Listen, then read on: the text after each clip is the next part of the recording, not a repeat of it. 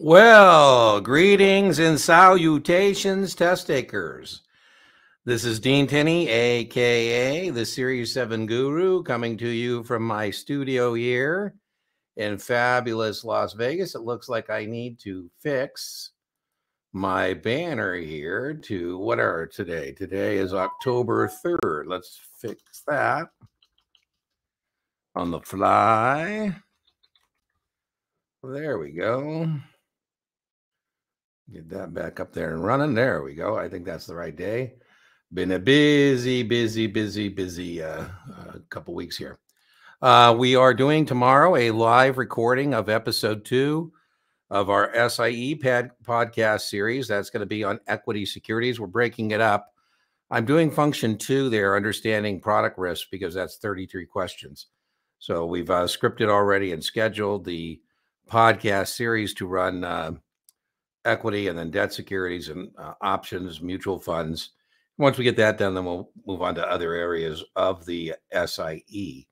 Uh, very pleased uh, hit another milestone this year this week. The uh, channel just crossed over 600,000 hours of watch time. That's crazy, crazy, crazy.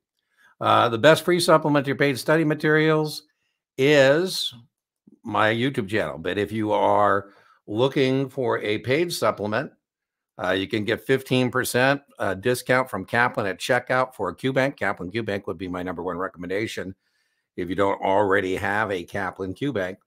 And then uh, my uh, friend Brian Lee, Test Geek himself, gives us a 20% discount for our viewers for his paid supplements. So if you are, are thinking about such a thing, uh, that would be the thing to do. Let us know what series exam you're taking, where you're joining us from. What we try and do is uh, deliver content from any uh, questions, content questions you have from any FINRA or NASAA exam, but it's also about fun and fellowship, seeing where people are joining us from. So, you know, uh, chat amongst yourselves, do whatever you would like to do in terms of that.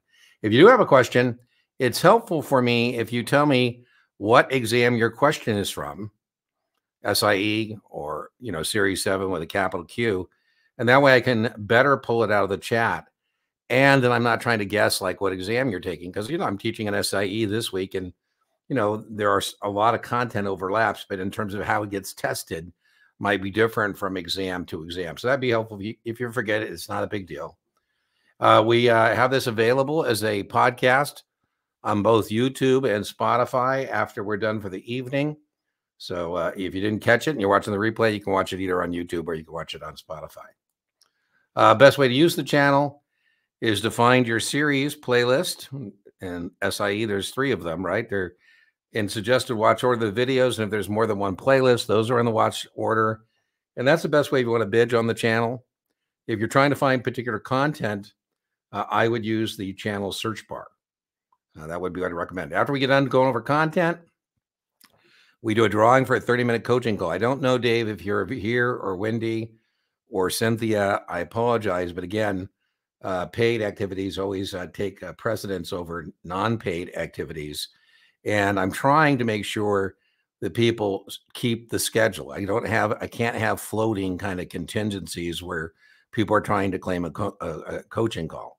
So in dave's case i've tried to schedule that two three times it just you know doesn't. Cynthia i'll reach out to you i'll reach out to uh, uh, wendy and we'll try and get that done. So maybe we could do it if you're available after this evening or you know, maybe early next week. Uh, hopefully, we get it done before before your exam. But we do that at the end of our sessions. All right, let's see what we got going on in chat. Let's see what we got going on in chat. Let me get rid of this. Do, do, do, do. Boom. Let's get rid of that. And let's go see what we got.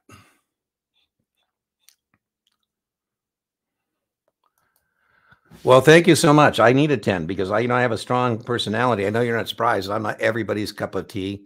And I need those 10s to kind of offset you know, those negative fives. There you go. Thank you. All right. Love it. Test taking victory. If you have any questions, I don't know why you would take not take my word for what's on the Series 7. Uh, but we have a victorious test taker in the house. Paul, thanks you so much. It means a, a lot to me uh, when people who are victorious on the test taking, uh, you know, journeys, whatever leg they're on, and you know, pop by and leave something in the comment box saying, "Hey, Dean, I, I passed, or you know, show up on the live and say they passed. I mean, we're doing uh getting a lot of people through their exams, and that's always again a wonderful thing. I mean, the, the channel is free, but back in the days when I would hire instructors, I don't do that anymore, but I would hire and fire instructors, and it would always amaze me when a new instructor would ask me, "Well, how important is that people pass their exam?" I go, "Well, that's very important. In fact, that's kind of the number one thing is that people pass their exam." So, Paul, thank you very much. All right, General Securities Principal in the house. All right, Cross. I don't know if you're aware of our Reddit community. I'm pretty proud of it. We have R Series 24. It's for nines, tens, and 24s, and there's a lot of people there. If you're looking for some com- camaraderie uh, on that, I like it, Cross, because it's anonymous. So I'm not a anonymous. People know who I am, but you know sometimes it's uh, a little easier to ask questions if, uh, particularly in those uh, general securities principal 910 sales supervisor courses uh, anonymously. The main items, uh, a capital asset pricing model, I certainly can. So the capital asset pricing model is the underpinnings of what is called alpha and beta. That's kind of where that comes from, right? This idea of standard deviation. And so we're using the capital asset pricing model based on what our expectation would be of a, a securities return. And that return would be based on the beta and the risk-free rate of return, right? And the market return, right? So, you know, what I'm going to do is subtract the risk-free rate of return because that's what I could get for not hazarding my capital, right? So, and then I'm going to take the market return. Again, I'm going to take out that risk-free rate of return because again, I can get that without hazarding my capital. I'm oversimplifying this, and then I'm going to times that by the beta, and that would be my expected return. Now, I would warn you, Nathan, I think a lot of test takers on both 65 and 66 overdose on what's called analytical methods. It isn't enough to make or break you, it, but it draws people in. I don't know why. And they get stuck in there. You know, that's the present value, future value, capital asset pricing model, uh, negative correlation, all of that max, you know, four or five questions that includes balance sheet. So, I would recommend that you uh, stick to uh, the you know broad avenues and highways of uh, that. The main point is input, output, and I just gave you the inputs: risk-free, market return, and beta. Uh, Series nine in Kinetic. All right. Would be sales supervisor Dave. All right. All right. I, I, think Dave. I've been trying to schedule. I think the coaching call. I think it's you, Dave. We may have more than one Dave, but I think that's what I've been trying to schedule coaching calls. Columbus, Ohio. Next Saturday, super anxious. The 10 is a real slog. Real slog. I think PassPerfect does go more in the weeds. So I I I'm okay with a 60 on PassPerfect and then 70s and 80s in Kaplan. I like that. Uh, I would prefer that we can push that PassPerfect score into the 70 range if possible. So um, keep grinding. Let's see, this is Tuesday. You're testing Saturday. So you got time for maybe a couple more practice tests. We're not trying to learn by doing practice tests. We're trying to, you know, do an intellectual inventory and see if we can do some remediation, find a few more points. Uh, but I would like to see that PassPerfect. If we can get that in the 70, keep the Kaplan 70, 80, I think you should be in pretty good shape. Elton, welcome. Welcome. Minnesota. Well, Angela, that doesn't look like you're in Minnesota. That looks more like Mexico in that uh, picture. I, have been in Minnesota and I have never seen any uh, clear water like that. South Florida 65. Welcome, Chris. SIE from Washington. Hope you'll join us tomorrow. Uh, we're doing that SIE. It's a second episode of our podcast series. Uh, so uh, hope you'll uh, join us. That's right. Dragon Slayer. You got to get that seven done. Dragon Slayer. Miami, boy, what a group. We really have a bunch of people from all over the uh, United States, don't we? Do we have anybody from a, a territory of the United States government? Uh, Puerto Rico, U.S. Virgin Islands, U.S. Micronesia. We have international students. Uh, Stephanie, I take my retake on SIE Thursday. This will be my second time or and last, and I will let it go, let be let go for my job. Uh, So uh, I'm overly stressed. You got, as we said, Stephanie. I know you're resilient. I know you're doing, you know, working hard, but you you've got to try. Om. All you can do is what you can do. Now I am a little different, so this might not be. Again, it's a buffet. Take what you like. You know, sometimes Stephanie, when I'm getting a little too anxious about something, and you know, like it's got, I'm going to lose my job and I'm going to find a new one.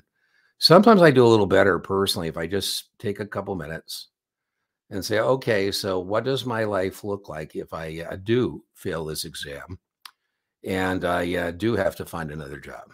Let me just own that right now and then be done with it. Because the problem is if that's you're not done with that, it can distract you while you're studying. And you think you spent two hours of studying, you spent, you know, an hour and 45 minutes thinking about what if you don't pass and 15 minutes actually studying.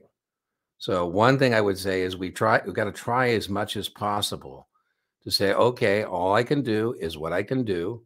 I'm going to continue to grind. I'm going to stay dedicated. I'm going to stay disciplined. I'm going to stay organized. And as they say in sports, right? Leave it all out on the field. And you can't let the anxiety uh, become or the stress become such that it's causing you to miss questions causing you not to do all you can do to make sure that that doesn't happen. So that's what I would say. I know just from uh, previous interactions with you that you're not as fragile as sometimes maybe you feel in terms of anxiety and stress. I think you are a little more resilient than sometimes you may be giving yourself uh, credit for. The pun is intended here. Don't sell yourself short. Right? Now remember, you're going to go up in value, not down. So that's what I would suggest for you. Today is Tuesday. Today is Tuesday. So, you know, Thursday's coming up. So you need to get sometimes when you're anxious. The other thing I would tell you is a lot of people say, well, get a good night's rest the night before the exam. And sometimes, you know, you're trying to do that, but you're so amped, it's hard to get a, a good night rest the night before the exam. So tonight, I would say, get a good night's rest. Get a good night's rest tonight, the night before the night before. And that way, if, if you're still having anxiety and you're stressed, at least you'll be a little more rested, perhaps, than if you were counting on tomorrow, you know, uh, not doing that. So uh, that's what I would say, Stephanie. And like I say, I'll be with you in spirit. If anybody deserves to make their mark, it's certainly you. And I know how hard you've worked. And uh, I have no reason to believe that we're not going to have you circle back as a victorious test taker and say you slayed that SIE dragon. 65 boy, lots of Florida. Got lots of Floridians. Virginia Beach. I spent uh, when I was in the Marine Corps. We I spent some time in Virginia Beach. Cynthia, I got to get a hold of you. So uh, I don't know if you're up to doing this. Uh, uh the coaching call. Maybe we do it. Um, well, I'll tell you what. I'm going to send you another email. We've been trying changing emails. Let's get something done and get that invite to you so we can get that done. Uh, Brian Lee is on a plane right now on his way to Las Vegas. So uh, who knows if he gets here soon enough? Maybe he'll fire up his uh, laptop and check in with us. But he is on a flight. He has kind of a dual kind of thing going. He's got his place here in Vegas, and he's got a place in the Northwest, and he kind of bounces uh, back and forth from the two. 66, 65. Wow. Uh, please comment on recruit practices of registered reps. Uh, I'm not sure what what you mean by recruitment practices. Do you have in-depth videos on mutual funds, annuities, and suitability? I certainly do, LinkedIn user. I mean, again, what you should do is go to the channel. In the channel search bar, you can put annuities, and all kinds of content will come up. You can also put suitability, and once again, all kinds of content will come up. Uh, in terms of recruitment practices, I'm not quite sure uh, what you mean by that, but uh, you're taking a series six, so I wouldn't worry about it. I do have some tens on the call and some 24s. And for you uh, men and women who are taking nines and 10s and 24s, you should know that recruitment advertising is the only type of advertisement that you're allowed to run blind. Blind meaning you don't have to clearly and prominently disclose the name of the broker dealer and the address. Other than that, all advertisements must contain a clearly and prominently disclose the name. You know, so you could say for opportunities in the securities industry, reply to you know, PO box, whatever. You can run a blind ad. You know, most firms don't because they're proud of who they are and want to use that as part of the recruitment process. Uh, the other thing is you can't make exaggerated claims in recruitment advertising about income opportunities in the securities industry. You know, I was attending one of my brother's, you know, MLM network marketing seminars. And he said, You want to make rock star money? I said, Chris, you don't make rock star money. You know, Mick Jagger makes rock star money, right? So, you know, do we make good livings in the securities industry? A lot of us do. But that would be the second thing about recruitment. It's not really practices. It's more about, uh, you know, uh, you know, advertisements. You know how you're going about that. And then you know we have a lot of firms who use a model where you know uh, there's an upline or downline uh, in terms of if you're making money. By the way, most of us do that as your supervisor. I typically am getting an override of what my office is doing or what my team is doing. So, uh, hope you found that helpful. Now, to your other comment, about suitability. I think a lot of people, you know, the three styles of questions you get on exams are recognition, practical application, and judgment. And on any of these exams, you cannot be giving up recognition questions. That's flashcard stuff. You know, it's stuff you simply know or you don't. You can't be giving up practical application questions. Again, there's no interpretation of a practical application question. Like you know market value at maintenance for example. If you're taking a 10 or a 24 you should be able to do debit by 0.75 credit by 1.3 you can't be giving that up. And you want to save your misses for judgment questions. Almost every suitability question falls into this category of judgment where they give you a scenario and then based on that scenario you got to determine now what i think most people don't do and this is what i'm going to recommend is I think people don't get strong enough ever on the product knowledge. And if you're not strong on the product knowledge, it's harder to answer the suitability questions because when you're strong on product, then as you go through that scenario, there'll be certain pivot words that you can say, oh, okay, well, that's now out or this one's in, right? So, for example, if they say the customer wants liquidity, I go, oh, okay, partnership's out of here. You know, if they say safety of principal, I go, oh, I bet I'm looking for some kind of a government security or some sort. You know, I would almost start projecting what I think as I work my through through that suitability question, looking for those pivot words that toss an investment vehicle into the mix or toss it out of the mix. Same with uh, suitability questions about asset allocation. Usually, those kind of questions, like asset allocation, for example, there's usually a couple choices that you can just toss out, like, yeah, that can't be it right? Then you're left with a lot of these judgment questions, suitability questions, you're left with a 50 50. Uh, God knows you should not give up muni questions because in a muni question, it's a suitability, but it's not judgment. It's simply taking the taxable yield, uh, deducting what the amount the government's confiscating, I'm joking, taxing, and seeing out what the effective return after you pay taxes compared to the muni. And then, you know, it's either a taxable yield or tax free. So you definitely got to get those. Those are definitely testable. And again, it's not uh, require any kind of a judgment. It's just the tax bracket. So you see the tax bracket, you go, oh, I know where this is going. It's going to be one of those Muni questions, right? Uh, so the Munis for sure. Uh, you know, college education. I should be thinking 529s. I should be thinking uh, zero coupon bonds, perhaps.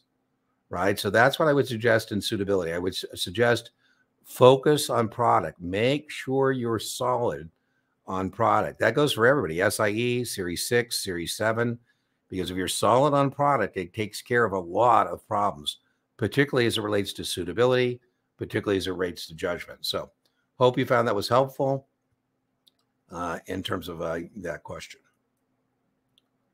Uh, Kaplan, a question. I tried this last week, it didn't work, uh, you know, afterwards. So, I will do this uh, 1520984. And what I will do, Jubilee, I like that name, Jubilee. At 1918, that's where we're at right now in the time code. In the replay, I will post a little video explication of that Kaplan QID for you. So a 1918 in the replay, replay, you will find a video. I'll look it up and I'll make a little video and I'll post it there for you. Toronto. Okay, so we got somebody from Canada. All right. Uh, passed the seven last month, thanks to you and. All right. So, Cody, what is your next uh, testing victory? Is your next testing victory a 63 or a 66? What is your next testing victory? Low 80s, that's fantastic, Austin. Low 80s is great. You know, the low 80s, Austin, I say gives you a margin of safety. You know, that's why I always want people to be in that, uh, you know, mid 70s, low 80s, because you have a margin of safety. Don't get me wrong, lots of people get 60s to 70s and they still pass, but you know, if you're between 60 and 70, you're at risk, and that's not where you want to be. You're taking on Saturday. I don't think you should have any reason to fear. I don't think you're at risk. You're not at risk with those scores of those 80s. Worried about the languages? Uh, shouldn't. I don't know where this comes from, Austin. Uh, obviously, I think Kaplan's the best, but Kaplan questions are the most reflective of the actual exam. Now, I'll, you know, we're being recorded, but the predecessor company to Kaplan was a company called Dearborn, and Dearborn was bought out by Kaplan. And at Dearborn, they got so close to the actual questions that they, you know, they paid a six-figure fine for copyright infringement. You know, FINRA and NASAA said that's too close, right? So when I take a test, Austin, I like to get to the first question. I know I know the right answer. And so you will find some Kaplan questions that are spot on. So, you know, I understand competitors probably chat up, you know, their questions as compared to Kaplan questions. Now we have questions that Kaplan are designed to stretch your mind but you know, and hope it doesn't go back to the same spot. You know, you do, the Kaplan does have some gotcha questions, uh, but you shouldn't be surprised. I don't think you know. Uh, in fact, I think the Kaplan QBank is the best, most competitive thing about Kaplan. you know, I, you know, I'm not a Kaplan employee. Kaplan uh, contracts with Guru Exam Prep LLC uh, to deliver some courses for them, and Guru Exam Prep LLC, the managing member is yours truly, I'm sole sole member LLC. So, uh, but I'm not a Kaplan employee. And, you know, if I didn't think Kaplan was the best, I wouldn't be teaching classes for them and I wouldn't be selling their QBanks. Uh, failed the 66 by 5 questions. Currently scoring a high 70s and 80s. Love it. Uh, good scoring for retail. I think so, Jason. Like we just said, that's where I want you to be. Yeah, low 70s. The higher the scores, the uh, more uh, margin of safety you have. Uh, I sure can. So, well, Series 10 let me start by saying, Alan, on Series 10, as a supervisor, we're less concerned with the New York Stock Exchange as a supervisor than I am with over the counter trading. You know, don't get me wrong. I'm not saying there's no shenanigans that take place on the New York Stock Exchange. But the New York Stock Exchange test question for everyone can best be characterized as an auction order driven market. So, what they're doing is matching buyers and sellers, right? So, I, I joke if you're kind of a, a, novice in the art market, uh, you're a novice and you're buying art in the secondary market, you might want to go to Sotheby's or Christie's because they're auction houses. They're not trading against you, they're matching buyers with sellers. They'll give you a rep that has a PhD in art history, teach you everything you want to know about art for free on the expectation you might at some point do a trade. Whereas in NASDAQ, remember in the over the counter markets, NASDAQ is the preeminent, but all the over the counter markets, uh, we as market makers are trading against the customers. And so it's a bigger supervisory challenge to supervise the trading desk. I mean, we we do tape usually to protect us, but every once in a while, you know, tape blows up in our face. And, you know, this was a guy trader and he said, Hey, I think of ours, our, our retail customers as sheep to be sheared. That is the wrong attitude. Now, in terms of participants on the New York Stock Exchange, the floor broker, again, this is testable on seven. This is testable on 10, could be testable on 24. The floor broker is the person who's responsible for executing orders for clients of member firms. So if I'm the floor broker for Morgan Stanley, it's my job to execute orders for customers of Morgan Stanley. And, you know, then there's a designated market maker, formerly known as the specialist, and he has the order book. You know, stories are apocryphal, but, you know, uh, the story is, you know, I say, hey, gentlemen, I must be here every day at this post, uh, and I'm going to do specialize in Bank of New York. And if you have a limit order, you can leave it with me. And if I can get your customer his price or better, I'll do so that'll free you up, floor broker, to go do other things. That sounds like a pretty good deal. Now, as it relates to series 10 questions, one thing that shows up on the 10 or the 24 is I'm the floor broker and I receive an order to buy or sell, uh, buy and sell from two different covers customers in this example of Morgan Stanley. And so, you know, rather than working the order, I decide that what I'm going to do is a customer cross. And I'm just going to match them. Poof, I'm done. And New York says this is uh, Rule 76. You don't know it's Rule 76 on the 10 and 24. They'll give you context. But what it, they say is I have to first uh, offer that to the floor at a penny better to see if perhaps there wasn't better execution for my customer, right?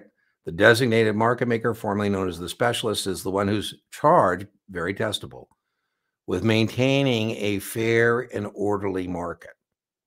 Nobody is a market maker over the counter is charged with a fair and orderly market. In fact, they would like a disorderly and unfair market. And what that means is that the designated market maker tries to make sure there's no gap in that trading. If there's a sea of sellers, then they're going to buy. If there's a sea of buyers, they're going to sell. They are allowed to trade their accounts. And then the next test question about designated market maker is I only can trade at prices better than the limit orders I'm holding. So New York prides themselves out that you might be pleasantly surprised. So you say, Hey, Dean, what's going on in the auction right now, the New York? This is not a market maker. I say oh, right now, the highest bid is 15, the lowest ask is 16. That is not like it would be in the over the counter markets, a market maker. No. That's uh, right now the designated market maker holding a buy limit at 15 and a sell limit at 16. And I say, hey, Elton, if you want to go to the front of the line, uh, what I would suggest is uh, put in a buy limit of 1501. You know, that's how you get the, you know, the front of the line, right? That narrows the spread. I always joke, it's kind of like if I'm uh, in line to get a muffin and there's uh, 10 muffins in the case and I'm the 11th guy, it looks like I'm not going to get a muffin. But in our business, I say, hey, uh, you're asking two. How about three? They say, come on up. And now I'm the guy who's at the front of the line. So that's how we sort that line. So the other question about the designated market maker is I could step ahead of that uh, limit at 15 and buy the stock at 1501. And whoever is at 15 complains about it. I said, well, I know what you're complaining. I was able to, you know, I gave them a penny better. So you were selling, thought you were going to get 15. I say, hey, I got the report for you. You got 1501. You go, wow, a pleasant surprise. I said, yeah, New York prides themselves on price improvement. Uh, it looks like the specialist decided to give you a higher price than the limit order he was holding, or on a sell limit, a lower price. So, anyways, I don't. It's kind of hard that you know these live streams sometimes don't lend themselves very well sometimes to to that kind of a discussion. Uh, I would tell you on series 10 and 24, I would spend way more time on over the counter stuff that I would spend on New York Stock Exchange stuff. Right. And then the other thing I would know is about, you know, uh, you know, issuers buying their own securities, you know, because a lot of issuers have a, enough money to buy their own securities. And there would be rules about that both in NASDAQ and New York. So, anyways, hope that was helpful. Yeah, Stephanie. Yeah, like I say, man, we're all going to be with you in spirit, right? You've got all of us. There's 32 people here. Uh, we're all sending you good energy. So I'll tell you what, Stephanie, uh, I'm going to call FINRA and I'm going to arrange for a dream draw just for you.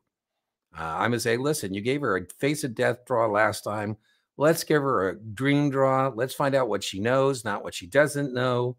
And I will do that for you. Now, if you're down there and you know what happens? Sometimes you're taking the test, you go, oh my God, I just forgot everything. If that happens, I want you not to panic. I want you to om. And I, Stephanie, will astro project all that back to you. Might take me a minute, might take me a minute, so don't panic. Om, and I'll say, om, om, om, ah, you know, and boom, you know, come back to you, come back to you. All right, woohoo. Kudos, investment advisor representative. Yeah, Cynthia, I haven't forgot you. We're going to make it happen. We're going to make it happen.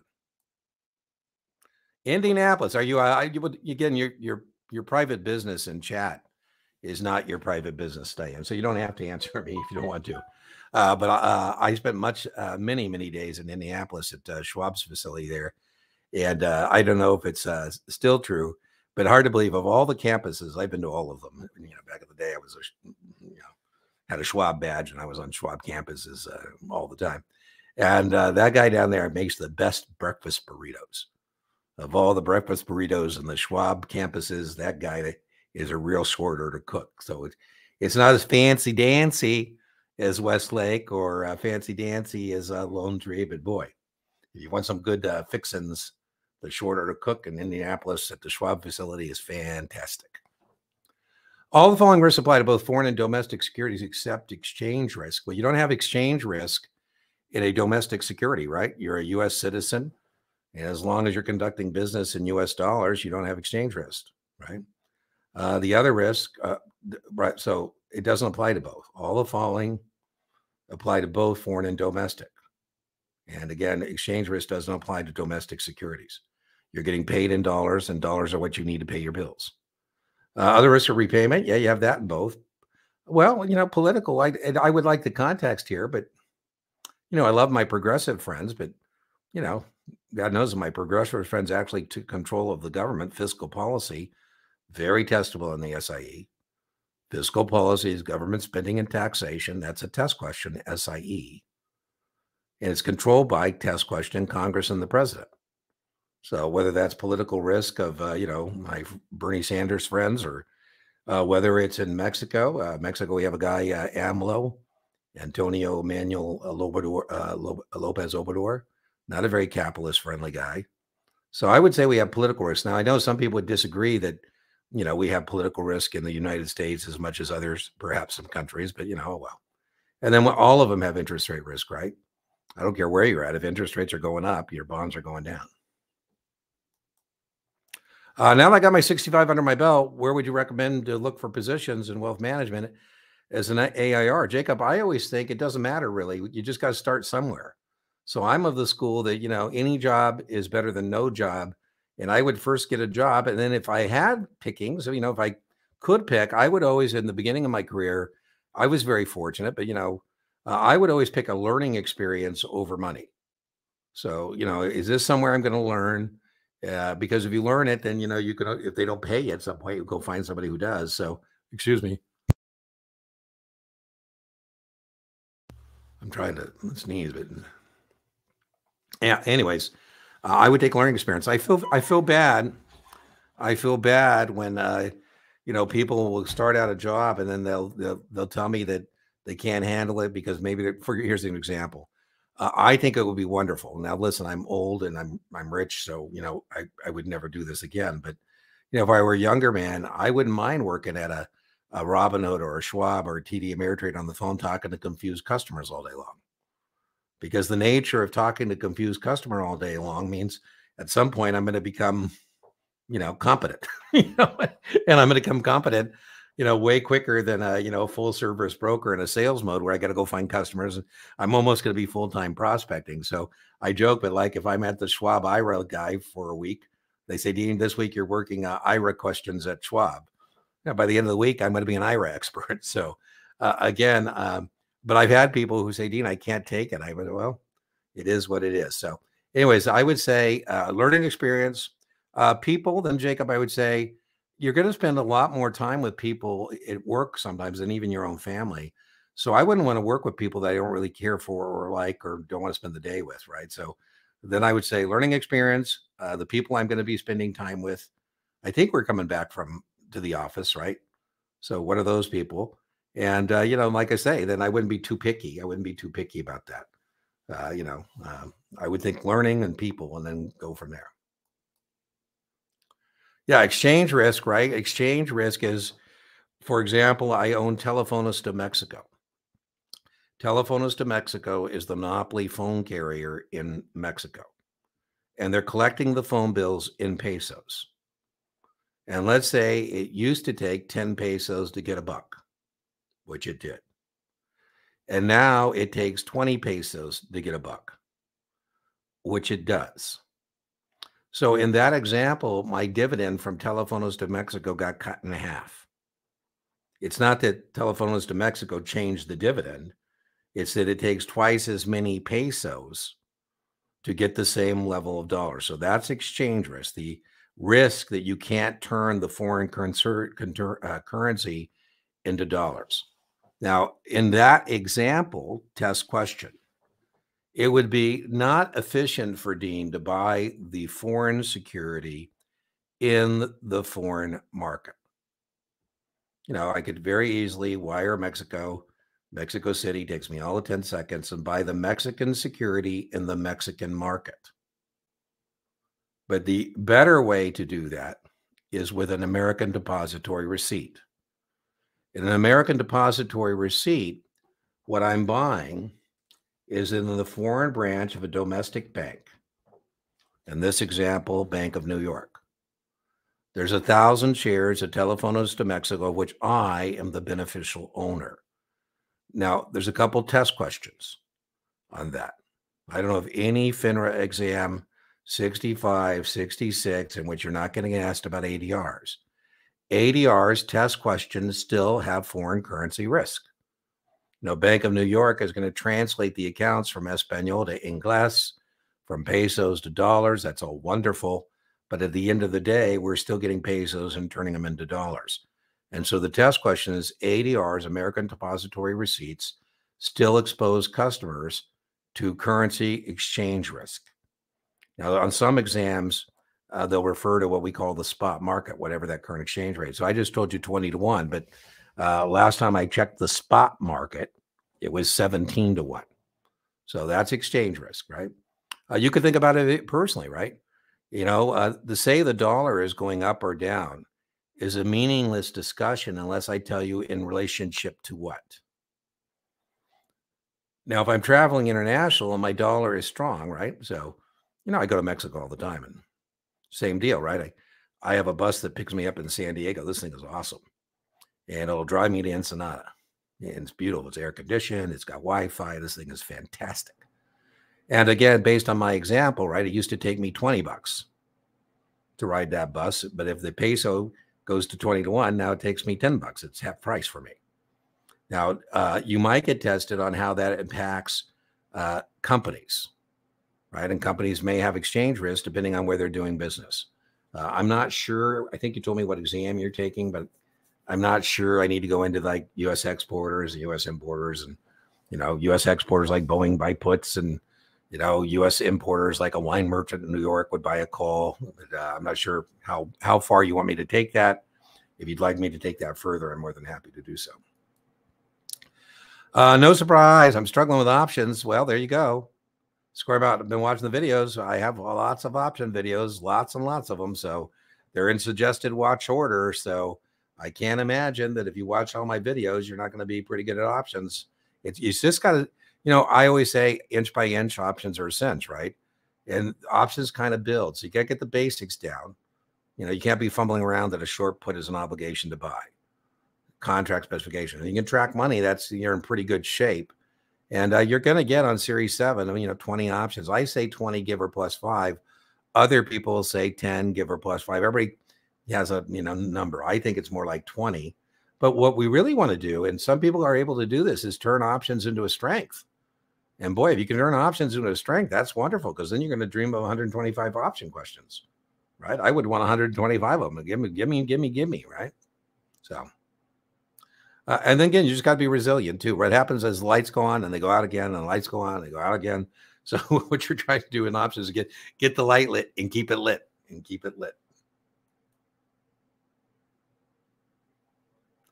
Well, you know, I think that's a binary thing, Angela. You should do first is look at the question say, okay, is this a speculative option position? So I read the question once, there's no stock position. That's a speculative position. You may end up with, with the stock, but in the initial question, there's no stock. Then the second thing, you read the question and there's stock. You go, ooh. And the two stock positions you can have is long stock and short stock. And the answer is you don't always add the premium. You only add the premium if you're buying the option. So a buy buy you would add or a sell sell. Right? So if I buy Apple today at 172 Angela, I buy Apple at 172. I'm long the stock. Right? And now I need to decide what do I want to do? Do I want to protect that position? You know, right now I, I see Apple saying that these new what are the iPhone 15s or something? They're overheating and they're telling people that it's because of I, this. Well, I don't what do I know? They said they're uh, it's the Uber app and some other app that is uh, making the phone kind of go crazy, and they're working on it. So maybe I say, you know what? I think I'll buy some protection. I'll buy a 170 put at uh, three. So buy, buy.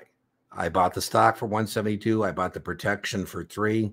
I'm out 175. That's my break even. But uh, you got to be careful, right? Your your point. I don't think you're seeing discrepancies. I think you you know you're not understanding, right? Because you know everybody who's a test prep vendor would not have a discrepancy here. So I say, Angela, how would you like to agree to sell high stock you just bought low? You know, well, we're just bought Apple here at 172. And if we'll agree to sell it at 180, somebody will pay us several hundred dollars in advance to agree to sell high stock we just bought low. And in fact, we can use that premium, pay attention, to lower our out of pocket cost. And so we sell the 180 calls, we can get uh, seven points for that. We can get seven points to agree to sell at, at 180. Apple, we bought at 172. And uh, 172 minus seven, our break even would be 165. So there, remember, buy, sell, we net. So it's buy, sell, we net. If it's buy, buy, we add or sell, sell for that example. Right. So our break even is 165 and we have three sources of profit we can make from 172 to 180, eight points there. We get the premium, seven points there. We don't participate past the strike price, so that's not bueno. And we get any uh, dividends. Apple pays dividends, and those are ours as well. So, uh, the, do you add the premium? The answer is it depends. Now, in a short stock position, right, I would want to protect that, and I would buy a call. So if I short the Apple at 172, that's money in. I buy a 175 call for three. That's money out. And then again, if it's a buy sell, I would net. So 172 minus three is uh, 169. So, anyways, hope that was helpful. I will link, uh, what was this, 4157? At 4157, I will link to the appropriate uh, lecture for you. I've got more than one, but I'll pick out one for you. And in the replay at 417, I'll put it there uh, stock plus options. Stock plus options. Uh, for investment recommendations, the client wants income, but also conservative, uh, doesn't want to lose their investment. The answer is a CD or money market. Uh, I would say uh, CD because money market is, well, now recently it's got better, but I would have said CD, right? A CD is going to typically pay more income than a money market. Money market, I would think of as a test taker as a place for idle money you know, ready money is a man's best friend. So if it's going to be a money market, one they like, for example, on the 65 is they like this one where um, the per, your client is relocating, they sold their house and they're going to be renting and while they kind of discover new neighborhoods and they think in six months they're going to, you know, want to buy a new house. And then in that case, I would say money market, right? Because they said six months, but if I get them a six month CD and then they find a house they're not going to have the money available to take advantage of that, uh, you know, cash price or whatever it is. So I think on context, I would answer that, but without any further context about time horizon, uh, I would say the CD. Uh, money market, I would say in the situation which there's a short time horizon, and it's basically money we're parking until we decide where to redeploy, right? And we would typically say to a customer, what do you want to do with your idle monies? Do you want to put it in a traditional bank account or would you like to put it in a money market fund? And for all of you, very testable. For all of you, you should definitely know money market instruments. You should definitely know T bills. That is the best money market instrument. There's nothing better than a T bill. Commercial paper, bankers' acceptances, and negotiable jumbo CDs. Those are the kind of things that would be fun in a money market fund. Chris, as a follow on question, I would know that on 65, 66, and 63, that those money market instruments are typically not being sold to Joe Sixpack retail investors. And they don't need to be registered under the Uniform Securities Act. They don't need to be registered through qualification or through coordination. Uh, third try on 66, Mississippi. Wow. Okay. Well, you know, the the NASAA exams, I think, are really ones that throw pe- have people have problems with for sure. So, yeah, there you go. Uh, the muni auction market. Well, I'm not sure if you mean like auction rate securities in muni, Cynthia. Uh, we haven't had any questions in a long time on auction rate securities like variable rate demand stuff. The questions used to be about a failed auction, or whether you mean where an issuer is putting out their, you know, bonds for competitive, uh, you know, underwriting. But if it's an auction market as it relates to munis, that's usually going to be an auction rate security. And the test question is it resets to an auction process. And people lost hundreds of millions of dollars. It was a major, major horror story. And that's why they put some questions. I haven't anybody say they've seen a long time, but the test question that used to be in the Q bank is about a failed auction, and now your money is locked in because you're, you're getting nothing. You know, it's like anything that's sold, it's too good to be true. They said, How would you like to have a liquid security with a long term interest rate? I mean, it's it's just mutually exclusive. So, not sure if that's what you mean, but uh, if so, uh, you know, let me know.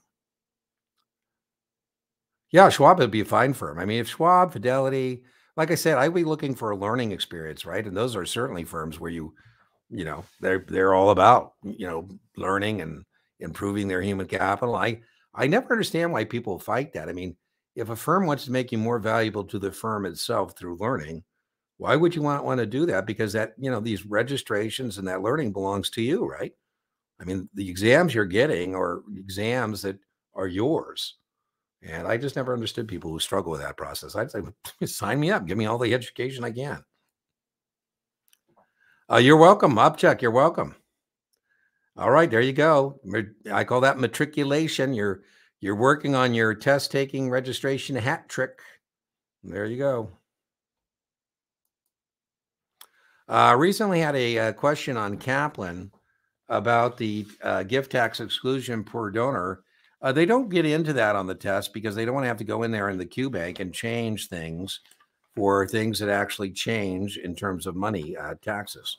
I had a uh, thing here. I don't know what I did, uh, but I have the most recent uh, part of that here somewhere. I can't find it right now, but uh, as I said, they typically shy away from that. here it is. I got it. I found it. so the gifting this year is seventeen thousand dollars.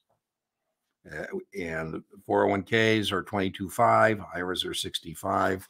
And again, I told you, they don't like to go in the Q bank and have to change things uh, like that.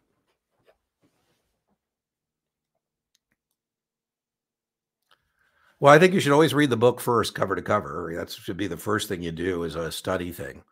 And once you've read the book, I would continually revisit, you know, certain sections, certain chapters, uh, particularly the glossary, for example, uh, you know, the index. But uh, practice test it depends when your test date is i think seven ten days out you should almost turn to almost exclusively uh, practice tests uh, i know you mentioned you have suitability covered do you have any do you have anything i can go to and practice several suitabilities definitely carla it's called a suitability exam so if you put suitability in channel bar there'll be a two or three suitability exercises that will pop up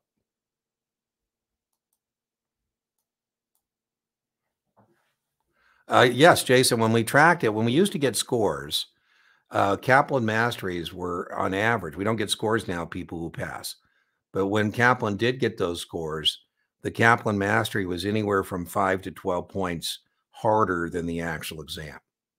So the answer to your question is yes, they are harder.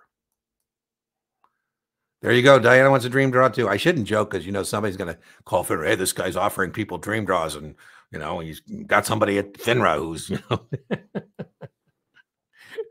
I'm joking. I'm just thinking about. I have one of my uh, my nieces who works at FINRA. I should not say that because that would be the connection, right? Oh, she's selling the Q bag.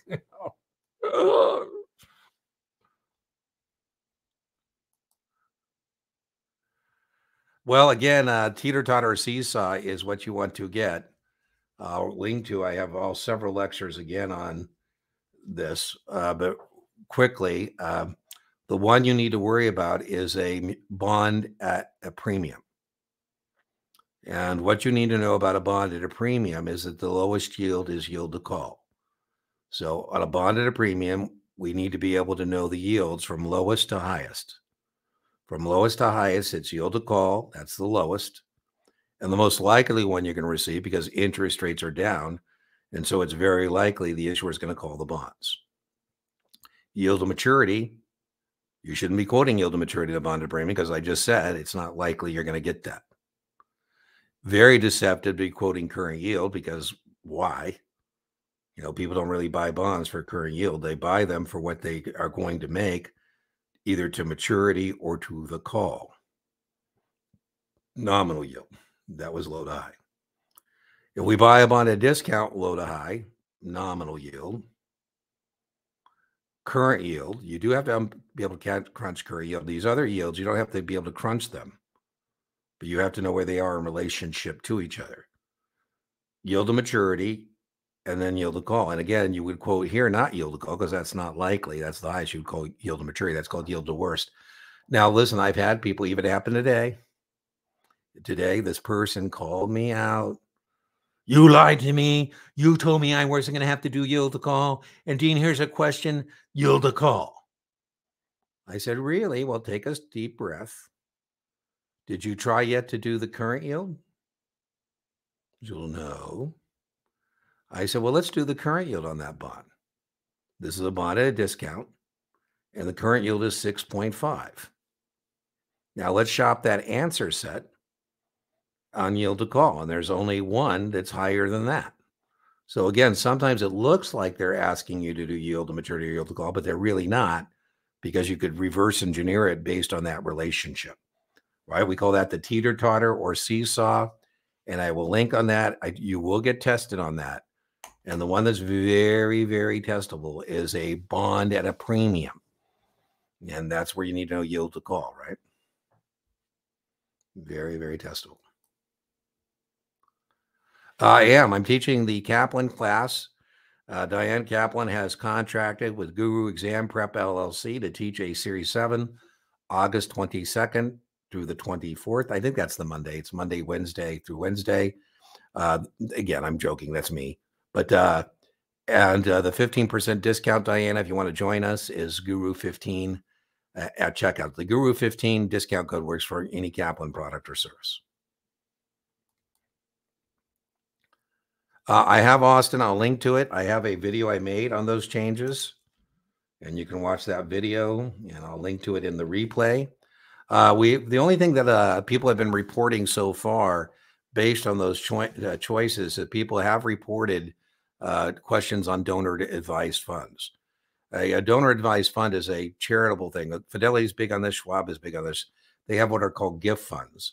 And so rather than donating my securities to, you know, the Save the Tiger Fund, I donate the appreciated securities to a donor advised fund like the Schwab Gift Fund. And then they sell the securities. And since it's a charity, there's no tax implication. And then I direct Schwab to send that money to whatever charity I'd like them to send it to, you know, Save the Tigers or whatever it happens to be.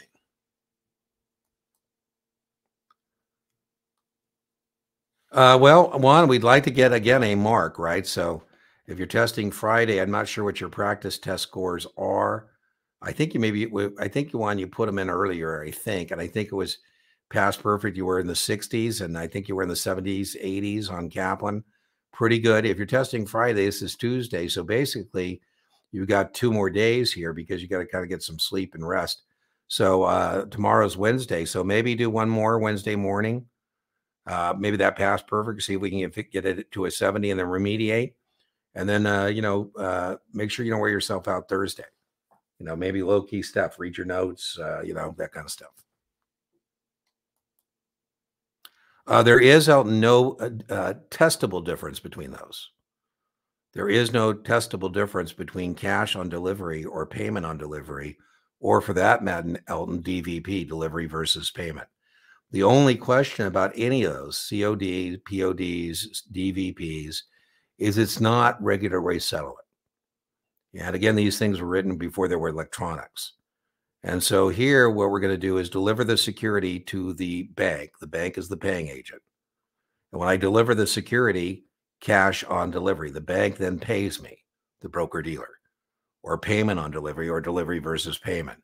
And I have, as a broker dealer, up to 35 calendar days to do that. It's not going to take me 35 calendar days because I want my money and I want it now. But that would be the test question. It's an aim and shoot, point and click question. I'm not sure I understand Austin. Oh no, this is very testable. It's always what yields the most to the U.S. Treasury. It's last money, first money, money's out. So Austin, I say to Coco, Coco, I say, Coco, you can't spend all that money you're making winning tennis tournaments. Uh, why don't you give me a million dollars after tax money? You've already paid taxes on. We'll put it in a variable annuity. A variable annuity is a mutual fund with an insurance wrapper, and that money will go Coco uh, tax uh, deferred. And now Coco is uh, 59 and a half. And she says, Hey, Dean, uh, I'd like to do a random withdrawal from my variable annuity. What's in there now? I said, Well, uh, good news. There's $10 million in there. You remember the million you originally put in, you already paid taxes on, and 9 million is sitting there now that you have not paid taxes on. And she says, uh, Dean, me, send me the million I originally paid taxes on. I say, no, no, no. Coco, if I send you a random withdrawal or distribution, it's going to be last money's in, first money's out. So that million is going to be part of the nine you have not paid taxes on. You know, in these questions, you always answer what yields the most to the U.S. Treasury, right? So it's going to be done LIFO. That is very testable, very testable. That's testable. Low probability on SIE, a higher probability on uh, uh, six for sure. I think you see it. Seven for sure. You're going to see it. I don't think you'll see it on 10 or 24s, but again, uh, there is definitely heightened suitability in a variable annuity. Yeah, that well, it's true one, but it's mainly about supervising your reps, right? So it's a little different flavor, so to speak. Hey, Marcel, woohoo! A new house. I love it. I love it. You have an extra bedroom for uh, gurus who might pop in to visit? I'm joking. I will definitely tell mom you said uh, hello. Uh, yeah, Brian has uh, several. I would go all in on Brian. Brian has uh, a series top, top up, and you can buy things separately, a la carte, like his options. Uh, but I would go all in, and all in, you get a 20% discount, and it's about $100. Another Louisianan. Go Tigers, right? I have no no idea about what CRPC, Oscar, none. I can't imagine Kaplan doesn't have, you know, Kaplan does everything like GMATs. I can't imagine. All right. Well, it looks like it's uh, time for our drawing. Let me get our drawing uh, thing. And boop, boop, boop, let's do this one. Let's put it over here. Let me get rid of uh, that. Um,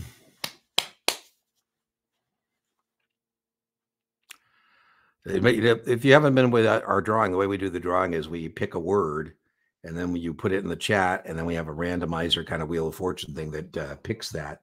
Um, I'm just thinking, anybody got any ideas? Uh, I'll tell you what, in honor of our friend uh, Marcel, let's use uh, Kenner, uh, Louisiana. So, boom, uh, put that into the uh, chat. And then let me go show you the Wheel of Fortune thing here. Share screen. Boom.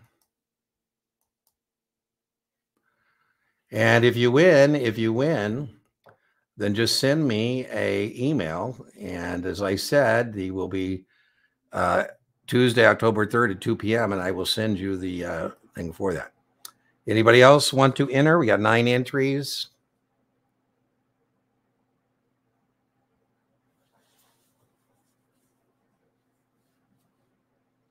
Okay, well, here we go.